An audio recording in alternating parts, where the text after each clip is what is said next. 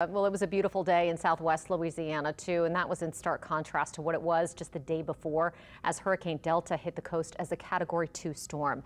People got a look at the damage to their properties and their communities today. And Mike McDaniel is joining us live tonight. Mike, I can only imagine the debris. What did you see today?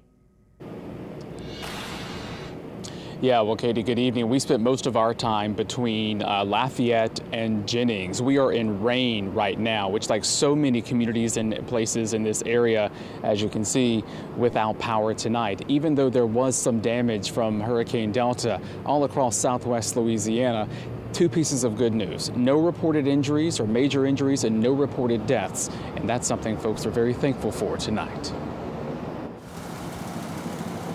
Between the fallen trees, twisted traffic signals, and roofs peeled off buildings, folks in southwest Louisiana, like Wesley Moring, know they're lucky, even if not so lucky.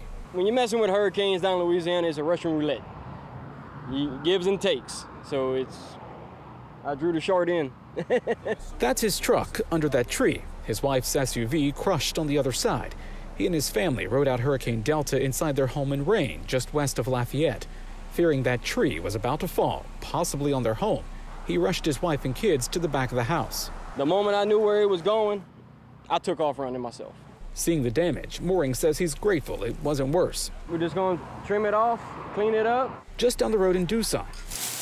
We got a mess. Robert Stutes is cleaning up as well. Picking up and piling it up on the side of the road. That's all we can do right now. Luckily, with no major damage to his home, Stutes says the storm was worse than he expected. All you was hearing is trees cracking, you know, branches breaking. This one broke, and I thought it was over here that broke because the wind was blowing so much you couldn't tell where, where it was coming from.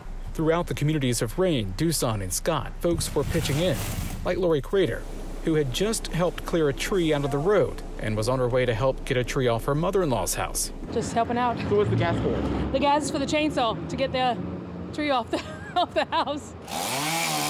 Back in Rayne, it took more than a chainsaw to remove a tree that fell into a 100-year-old home, which is owned by the mayor.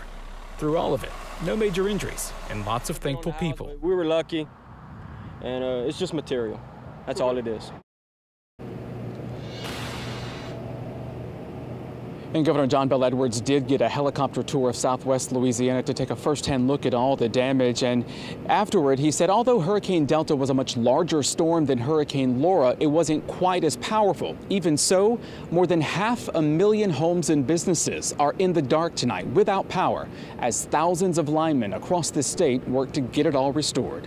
Live in Rayne, Mike McDaniel, Eyewitness News. Katie? Round two with that. Thank you, Mike. And we've been working with the Red Cross to raise money for Hurricane Laura victims for weeks now.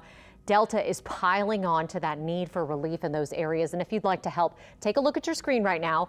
You can call 1-800-HELP-NOW or text the word donate to 504-529-4444 to get involved.